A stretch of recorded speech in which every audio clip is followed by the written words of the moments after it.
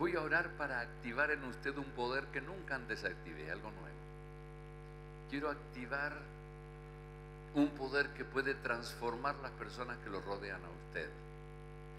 A veces nos quejamos de que nuestra familia, los que viven con nosotros no se convierten, el cónyuge no se convierte. A veces nos quejamos de que nuestros hijos no quieren estar pegados a Dios. No siempre es un problema nuestro que no estemos predicando o no estemos haciendo lo correcto.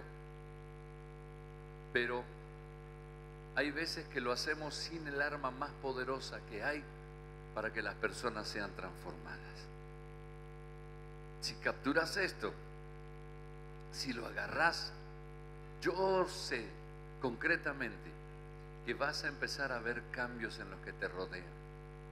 Transformación en tu lugar de trabajo, transformaciones en tu propia casa, transformaciones en las personas allegadas a vos, porque se va a activar un poder sobrenatural muy especial. Amén. ¿Está listo para eso? Aleluya. Así que usted también ahí conectado, deje que Dios lo prepare. Escuche. El apóstol San Pablo le escribe a la iglesia griega de Corinto y le dice a los corintios, nuestras cartas sois vosotros, escritas en nuestros corazones, conocidas y leídas por todos los hombres. Le está diciendo a cristianos que ellos son cartas leídas por las personas. Y sigue diciendo, siendo manifiesto que sois cartas de Cristo, expedida por nosotros, escrita no con tinta, sino con el Espíritu del Dios vivo, no en tablas de piedra, sino en tablas de carne del corazón. Dios está diciendo a través de la palabra que los cristianos somos como cartas leídas. Cartas leídas que no están escritas por personas, expedidas, dice, por los apóstoles, expedidas por los que han predicado y servido, son los que la envían, pero está escrita con el Espíritu Santo y está escrita en el corazón, no en tablas de piedra, sino en corazones humanos. En la NTV dice, es evidente que son una carta de Cristo que muestra el resultado de nuestro, de nuestro ministerio entre ustedes. Esta carta no está escrita con pluma y tinta, sino con el Espíritu del Dios viviente. No está tallada en tablas de piedra, sino en corazones humanos. Quiere decir que la Biblia nos dice que usted y yo somos un mensaje. Todos los mensajes de Dios tienen poder. Y Dios dice que usted es un mensaje que puede activar el poder de Dios. Por favor, declare conmigo. Y en su casa, aunque alguno se sonría de que usted lo diga, diga, yo soy un mensaje. ¿Qué mensaje somos? ¿Qué mensaje somos? Si tenemos y reflejamos la imagen de Dios en nosotros,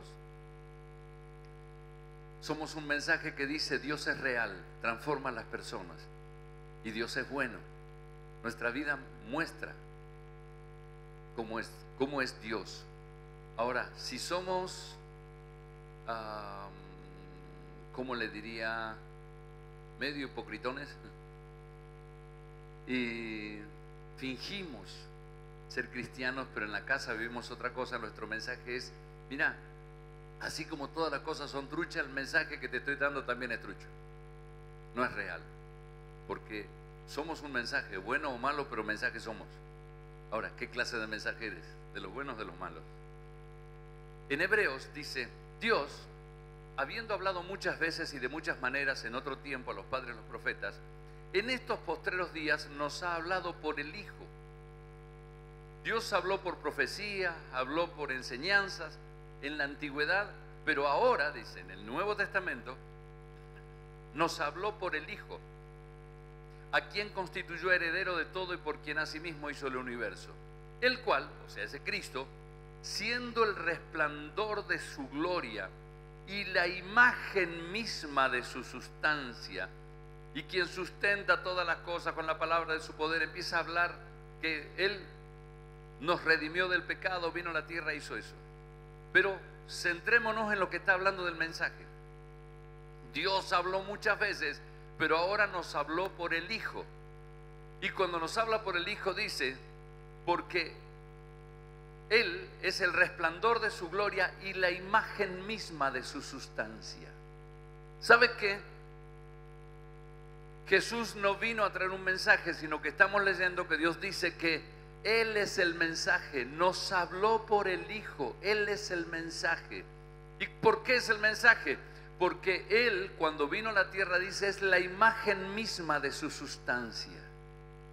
Él vino a traer la imagen de Dios. Por eso le decía a las personas, el que me ha visto a mí ha visto al Padre. Porque Él traía la imagen de Dios a la tierra y entonces Él mismo se constituyó en el mensaje. ¿Cuál era el mensaje? Les muestro a Dios. También habló de Dios, pero el mensaje es les muestro a Dios. Así vino Cristo a la tierra. Ahora, el tema es que Él también determinó que nosotros íbamos a hacer el mensaje aquí cuando Él se iba. Él vino sabiendo que era el mensaje y dijo, yo soy la luz del mundo. Después le dijo a los discípulos, mientras estoy en la tierra, yo soy la luz del mundo. Y en el monte de la bienaventuranza dijo, ustedes son la luz del mundo. Quiere decir que el mensaje vivo, ese estilo de hablar de Dios, que es mostrar a Dios, fue el que trajo Cristo a la tierra y pudo decir, el que me ha visto, me ha visto al Padre. Pero cuando Él se fue, dijo, muchachos, la luz ahora son ustedes. Pero no cuando, cuando le dice a la novia, eres la luz de mi vida. Es la luz de la humanidad. ¿Y qué es la luz de la humanidad? Es cuando usted y yo tenemos la imagen de Dios en nosotros. Nuestro mensaje es puro cuando tenemos la imagen de Dios en nosotros. Porque entonces las personas ven a Cristo en nosotros si tenemos la imagen de Dios en nosotros, que no se la puede imitar, solo viene por transformación. Entonces, ¿cómo funciona? Una persona común, normal, de buena vida, mediana vida o mala vida, terrible, viene, conoce al Señor y Dios lo transforma y, continúa una transformación en su vida las personas ven a, ese que fue transformado y empiezan a ver y dice, este era un torcido, ahora es derecho. Este era un delincuente, ahora ayuda a la gente. Mira, ahora está más bueno. Ahora me dan ganas de acercarme porque... Y empiezan a ver características que no son otra cosa que el carácter de Cristo que empezó a reflejarse en él.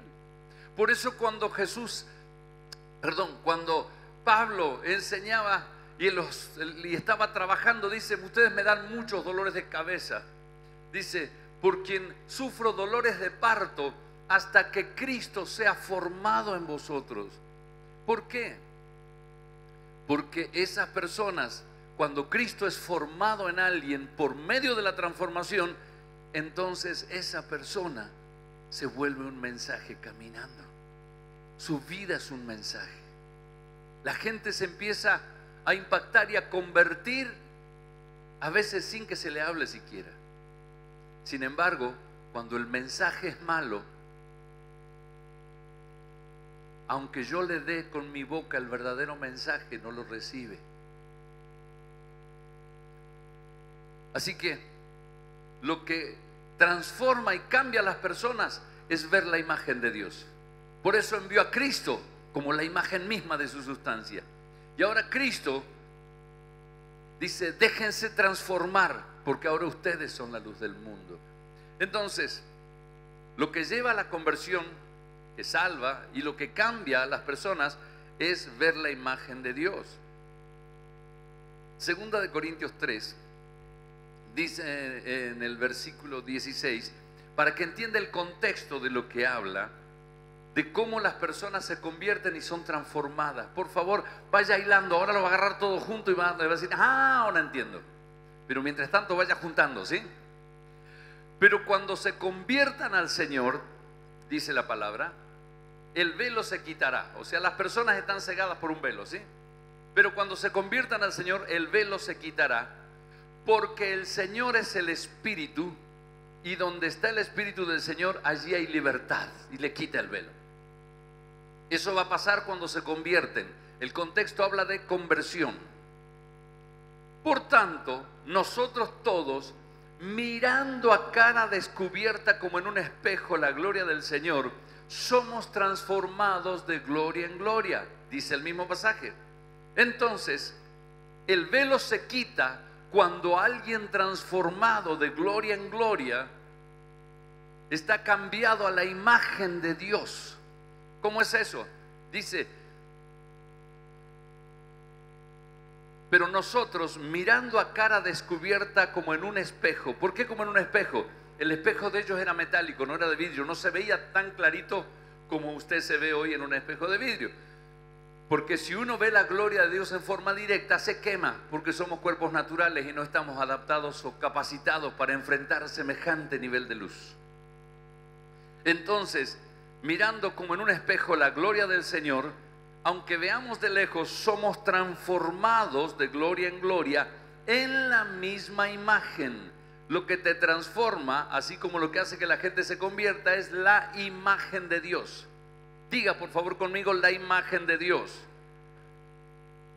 ¿Y dónde va a ver la gente la imagen de Dios? Bueno, que vaya a una santería y compre. No, la imagen de Dios camina, habla, se mueve. La imagen de Dios es la luz del mundo en la tierra. La imagen de Dios que el mundo puede ver somos usted y yo.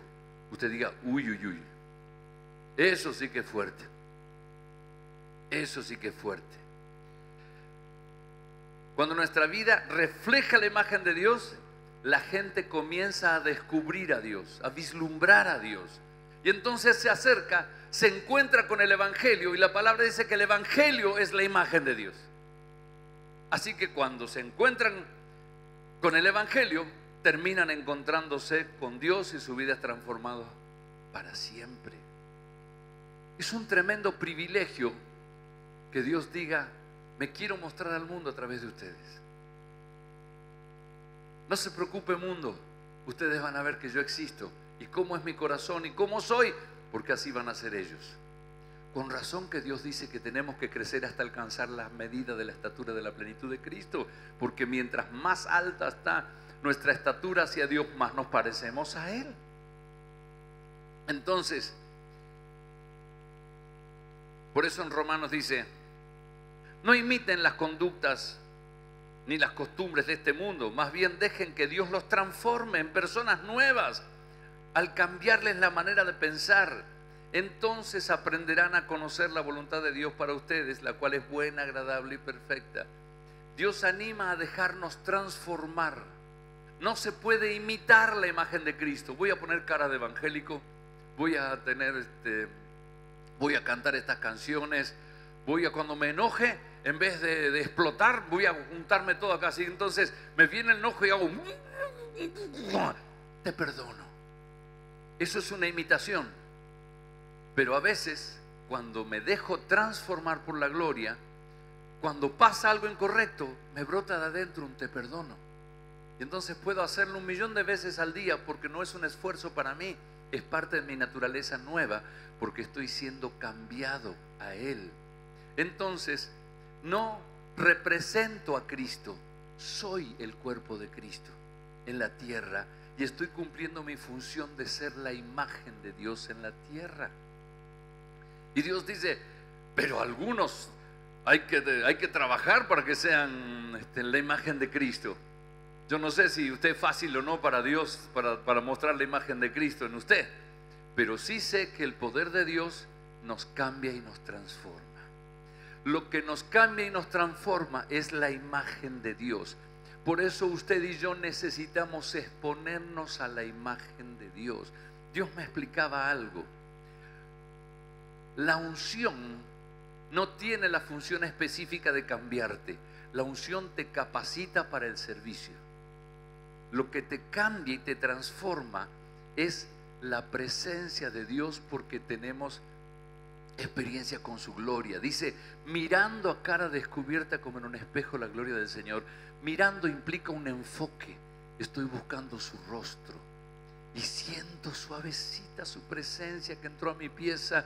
O cuando estoy en el tabernáculo me pongo de rodillas y Dios me, está acá, está acá, qué lindo. Disfruté un ratito a Dios. No, te cambió.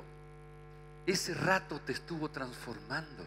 Si usted no tiene encuentros con Dios, aunque venga cultos de fuego y alguien le imparta y usted huele cinco metros y caiga entre medio de las sillas y se levante temblando y electrizado, si no había un carácter transformado adentro, eso no le va a servir.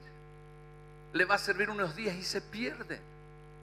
Porque esa unción es para empoderar a las personas para servir a Dios, pero tiene que esa persona tener el carácter del Señor, ir pareciéndose a Dios, y eso no se logra con un recibe. Eso se logra con tiempo, largo tiempo apartado en la presencia de Dios miro la gloria de Dios y entonces empiezan a producir transformaciones profundas. Todas esas cosas que quisiste cambiar y no pudiste, se van a empezar a cambiar. A veces necesitamos estar en remojo mucho tiempo para que se ablanden algunas cosas y empiecen a ser cambiadas en nosotros. Y el modelo del cambio es la presencia del Señor. ¿Cuántos me dicen? Amén. ¿Saben una cosa? Yo no veo a los que están conectados, pero sí lo veo a usted. Y cuando dije, algunos necesitan mucho tiempo de estar en remojo, he visto codazos. No sé si le está diciendo, ah, mira, fíjate, yo soy uno de los que... O le estaba diciendo, a vos te hace falta que te sumerjan un rato en la presencia de Dios. Pero lo bueno es entenderse en esto, que para poder ser transformados y empezar a hacer el mensaje que Dios quiere que seamos, necesitamos buscar la presencia del Señor y sumergirnos en la presencia del Señor. Pregunto, ¿sumergirse en la presencia del Señor te empodera? También, pero la clave es ser transformado. Así como un, impacto de unción puede transformar decisiones en tu corazón, o sea, no es que esto no sirve para lo otro, sino que el efecto central de la búsqueda de Dios es ser transformado, la oración privada. Y el efecto central de ser impartido es ser empoderado para servir en un corazón que ya fue transformado. Aleluya. ¿Qué ven sus compañeros de trabajo? ¿Qué ven tus compañeros en el aula donde estás estudiando? ¿Qué ve tu familia que no conoce al Señor cuando te ve? ¿Están viendo al Señor? ¿O cuando volvés de la iglesia te secas las lágrimas de la adoración y cuando entraste a tu casa revoleaste la, vida, la Biblia y apareció el viejo hombre adentro otra vez. Y la gente dice, este, mira la cara que pone allá, ojalá el pastor lo viera acá como la cara que tiene cuando está acá dentro de la casa. Tenemos que aprender a ser transformados y ser la imagen de Cristo. Aleluya. En Efesios 4 dice, en cuanto a la pasada manera de vivir, despójense del viejo hombre y seas transformados, vístanse del nuevo. Ahora, cuando Jesús enseñó en el Sermón del Monte las bienaventuranzas, enseñaba el tipo de transformaciones que Dios va a producir. Era como una, como era, era uno de los primeros mensajes, así que les estaba enseñando a dónde apuntaba él con lo que iba a enseñar, que eran cambios profundos.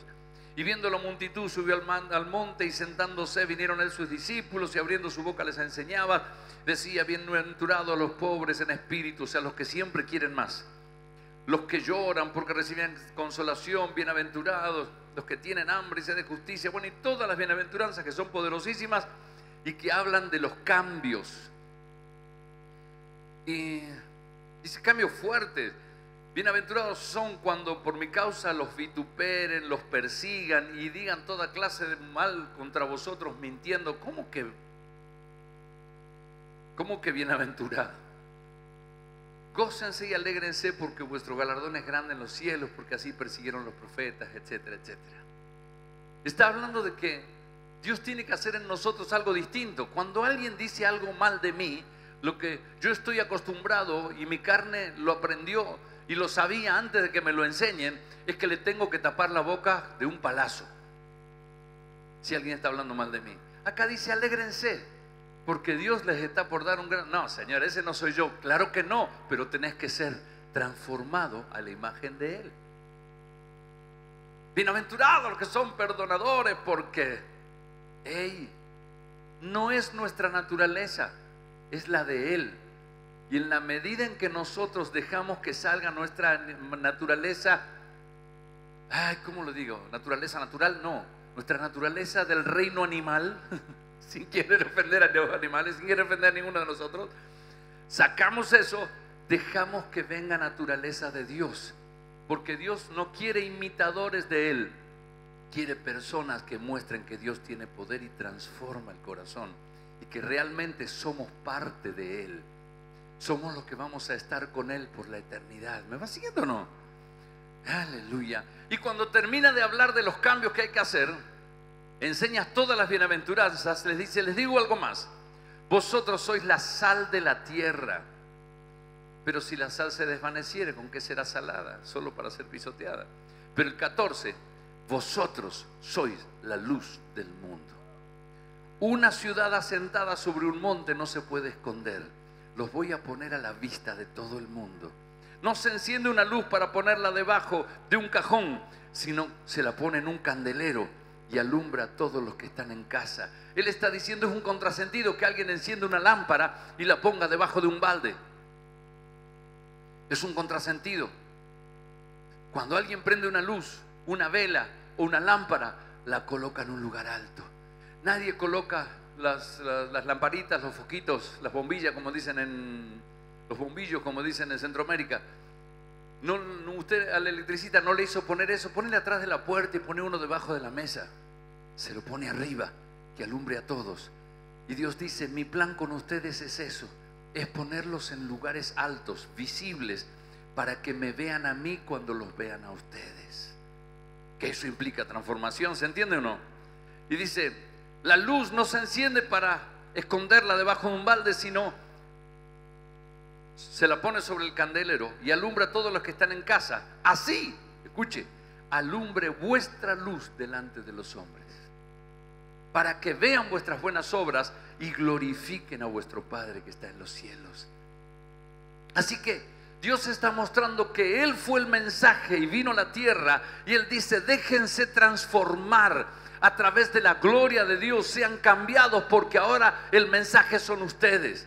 Yo soy la luz del mundo mientras estoy en el mundo, pero ahora ustedes son el mensaje, ustedes son la luz, ustedes necesitan ser transformados. Y la palabra dice que las personas se convierten y se quita el velo cuando ellos ven la gloria de Dios en nosotros.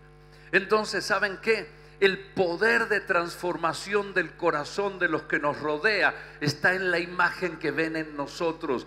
Hay demasiados cristianos frustrados por la falta de conversión de personas cercanas, de amigos, de seres queridos y de familiares por causa de que les estoy hablando un mensaje tremendo, lo respaldo con señales y milagros y prodigios y eso debería convencerlos, pero la imagen que ellos ven en mí todavía no les convence. Haceme un favor al de al lado decirle hmm".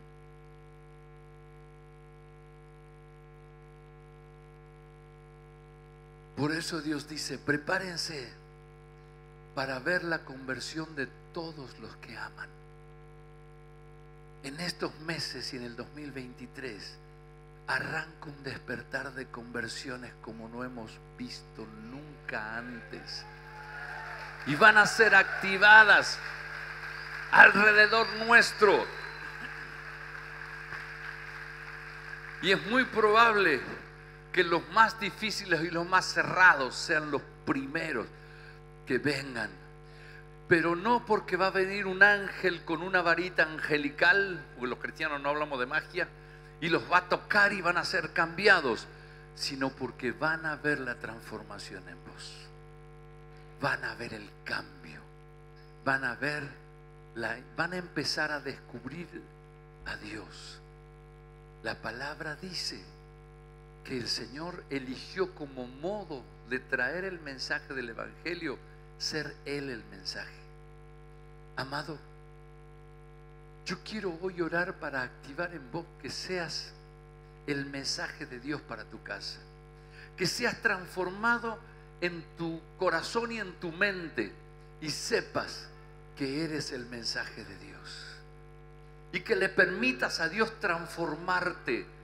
No solo tener la voluntad de decirle, Señor, cambiame, sino también decirle, te voy a buscar para ser transformado viendo tu gloria.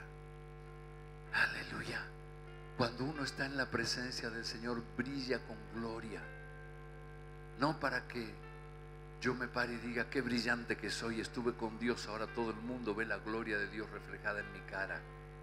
Es para que nos humillemos y digamos, Señor, soy el burrito que está transportando a Jesús sobre mí, porque quiero que la gente vea a Dios cuando me mira a mí. Cada vez que vos te enojas y explotás, estás dañando la imagen que alguien que estaba buscando a Dios creyó que le iba a encontrar en vos. Cada vez que vos le mentís a alguien, cada vez que vos haces una trampa en tu trabajo, cada vez que vos le decís, mira, yo necesito tres días para irme, pero no, no, no quiero, este, no me dan permiso. Así que eh, firmame un certificado médico porque yo voy a hacer esto. Y tal vez el que te firma te sonríe, te firma un certificado médico falso y no te diste cuenta que esa gente por dentro tuvo una desilusión diciendo, ah, no, evangélicos tampoco. O este cristiano que parecía que estaba metido parece que tampoco. Se ve que son todos iguales. Somos todos iguales.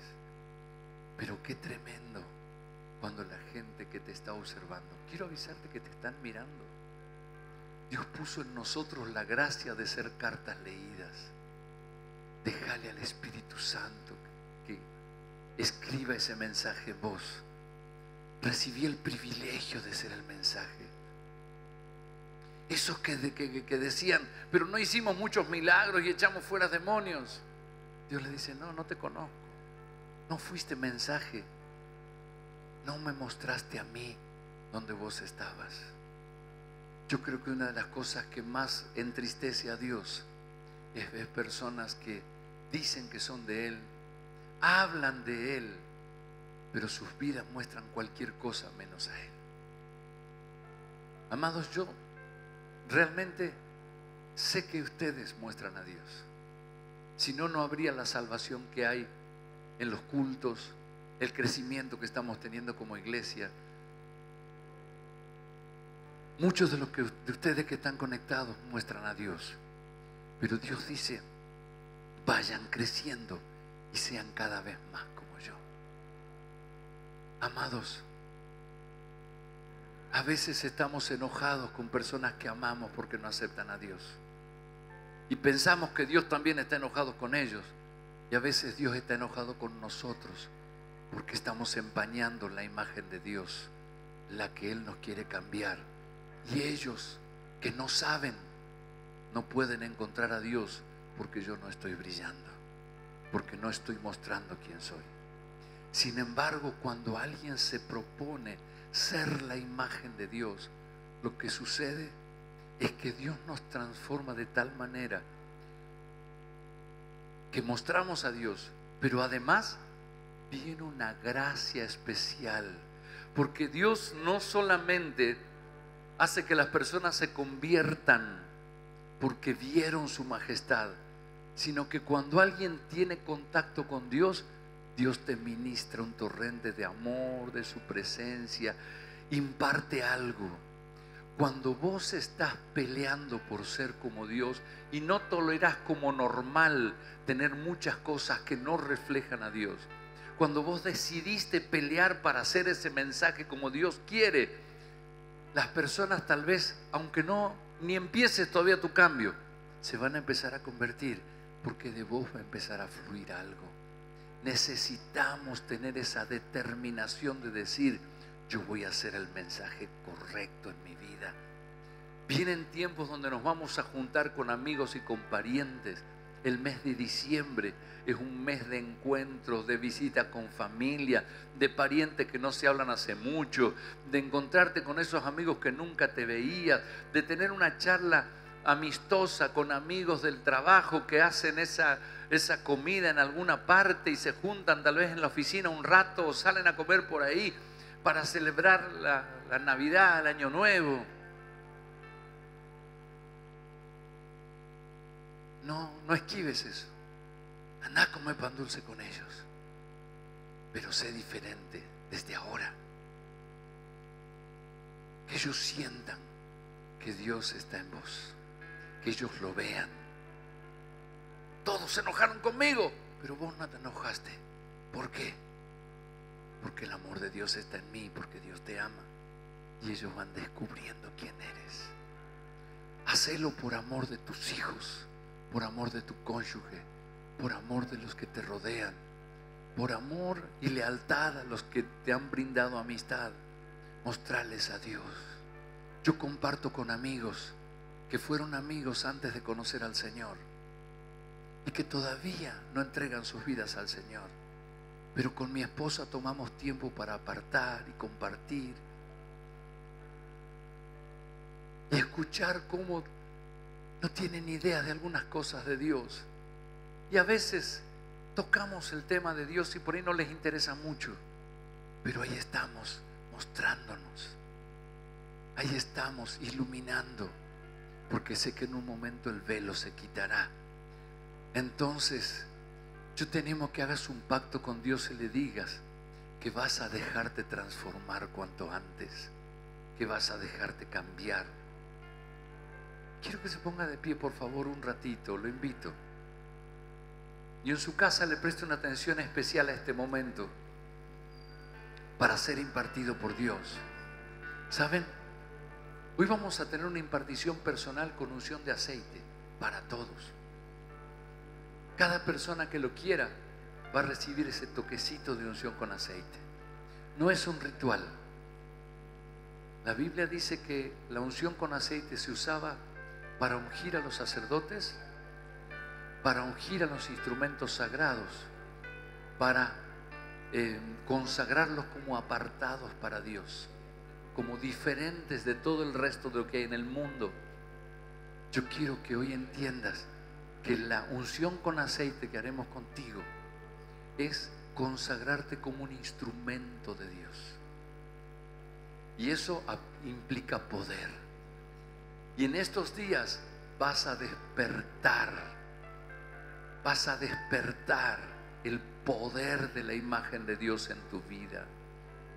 Tu mansedumbre salvará y transformará vidas.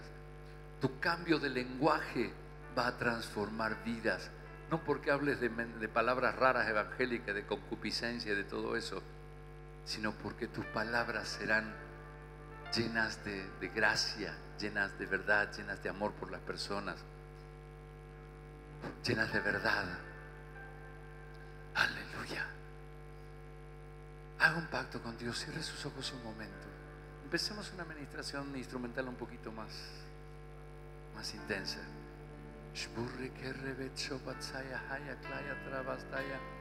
Mi equipo pastoral que va a impartir la unción, les invito a que suban aquí a la plataforma para orar por ustedes, por favor.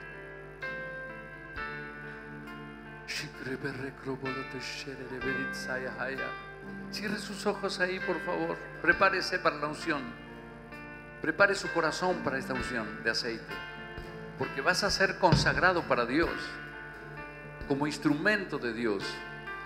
Hoy vas a ser consagrado como mensaje. Como mensaje.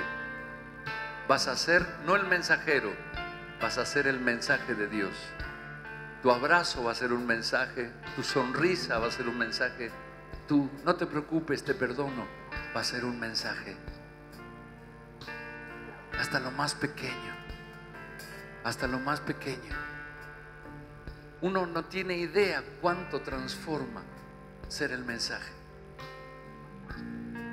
Ser el mensaje.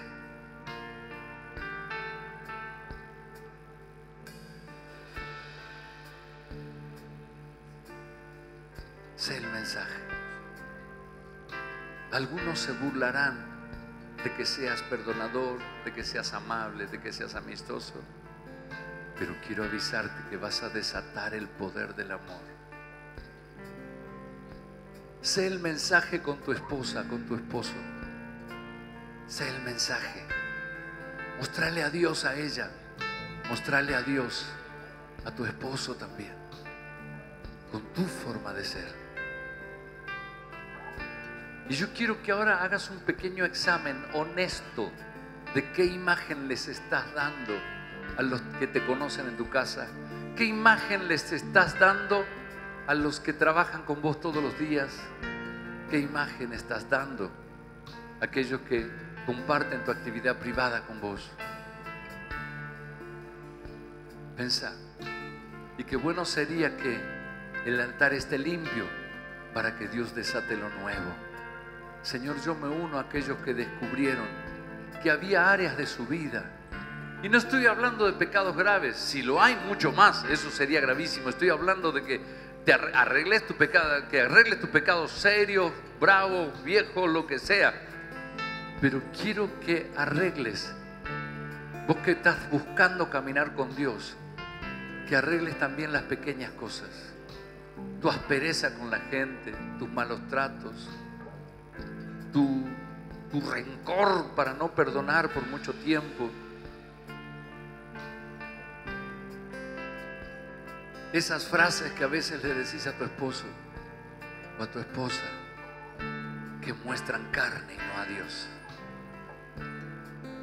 En el trato con tus hijos se puede ser firme pero amable. Se puede ser firme y corregir lleno de amor. El enojo no muestra a Dios, dice la NTV, la versión NTV. Tu enojo no muestra a Dios. Seamos expertos en amar más que en enojarnos. Seamos expertos en bendecir más que en ganar una discusión. Seamos expertos en integridad, aunque haya un festival de iniquidad y de, y de, de corrupción alrededor nuestro. Señor, yo me uno a aquellos que hoy te piden perdón, Señor. Yo me uno y te pido perdón por áreas de mi vida que no te reflejaron. Señor, yo también quiero ser la imagen de tu sustancia. Yo también quiero sentir que los que me miran están viendo al Señor. No porque sea perfecto, sino porque descubren que las transformaciones que estoy recibiendo vienen de ti. Señor, te pido perdón. Yo me uno a aquellas manos que se levantaron diciendo, Señor, yo necesito cambiar porque hay cosas de mí que no estaban perfectas. Ahí está, ahí está, ahí está, ahí está. Y Dios dice, hija, si yo quiero que seas perdonadora, ¿cómo no te voy a perdonar? Si yo quiero que seas un hombre perdonador, ¿cómo no te voy a perdonar? Señor, regálame el privilegio de poder reflejar al mismísimo Dios viviente. Pero eso es demasiado gloria. Dios dice, claro, pero esa gloria está en vasos de barro, para que cuando la gente vea esa combinación, sepa que la gloria es de Dios y no de nosotros. Los que son orgullosos, pedantes, los que son personas eh, con ínfulas,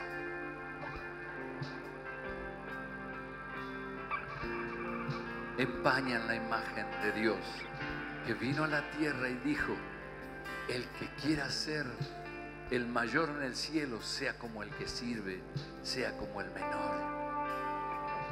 Ahí está, ahí está, ahí está, ahí está. Algo está cayendo, algo está cayendo, algo está cayendo, algo está cayendo. Dígale con su boca concretamente, quiero ser transformado a tu imagen. Señor, quiero ser un buen mensaje para mis hijos. Quiero ser un buen mensaje para mi cónyuge. Quiero ser un buen mensaje para mis vecinos. Quiero ser un buen mensaje para los que trabajan conmigo, para mis clientes, para mis compañeros, para mis jefes, si hay jefe. Señor, quiero ser un buen mensaje. Que todas las cosas de mi vida muestren tu imagen.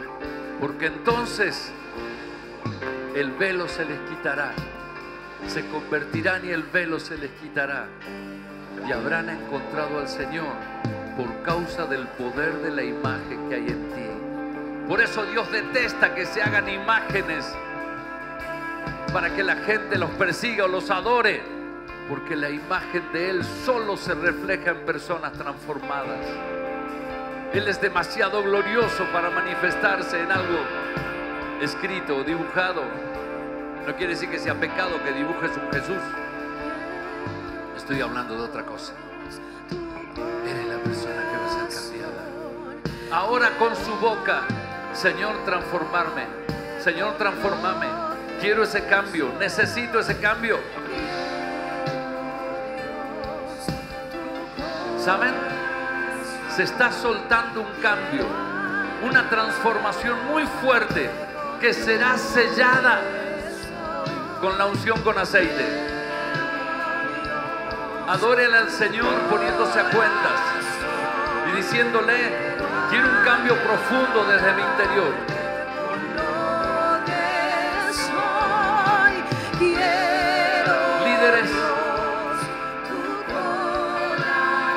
De servicio a Dios, más que, me, que lleven miles de células, lo que necesito es que muestren a Dios. Que sus palabras, que su trato con la gente, que la pureza de sus acciones reflejen a Dios en todo lo que hagan.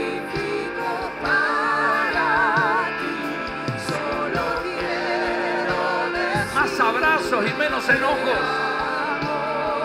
Más entendimiento y menos presión. Más enseñanzas del carácter de Dios.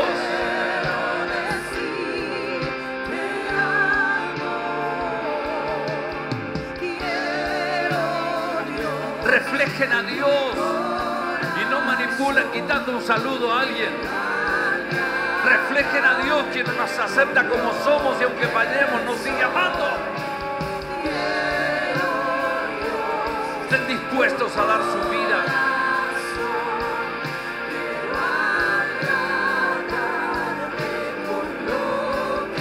Seamos dignos mensajeros y seamos un mensaje digno dignos en nosotros mismos.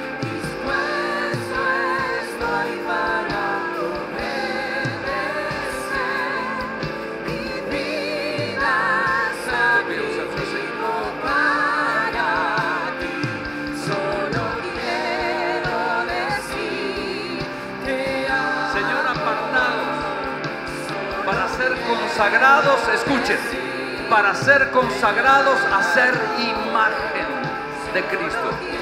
Consagrados a ser imagen de Cristo. Consagrados a ser imagen de Cristo. Consagrado a ser imagen de Cristo. Consagrado a ser imagen de Cristo. Consagrado a ser imagen de Cristo. Consagrado a ser imagen de Cristo. Consagrado a ser imagen de Cristo. Consagrado a ser imagen de Cristo. Consagrada a ser imagen de Cristo. Consagrada a ser imagen de Cristo. Consagrada a ser imagen de Cristo. Consagrada a ser imagen de Cristo. Consagrada a ser imagen de Jesús. Dicen, bueno, yo voy a perdonar, voy a ser bueno, voy a amar a todo el mundo, pero no trabajo. La imagen de Cristo es completa. Jesús dijo, mi Padre trabaja y yo trabajo. Consagrado a ser imagen, consagrado a ser imagen. Consagrada a ser imagen, consagrada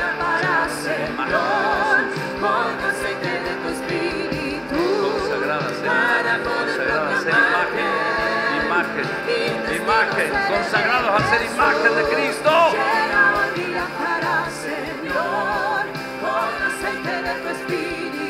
Adore, Dios lo está cambiando. Dios ya empezó la transformación. Muchos en su casa están sintiendo y están teniendo. Sé que hay personas que no están acá, pero están en el Espíritu con nosotros y hay lágrimas en sus ojos. Dios dice, no te culpes. Porque haya apartado. No te condenes porque tu esposa no te entendió. No te condenes porque sentiste que fallaste. Solo toma la decisión de ser imagen ahora.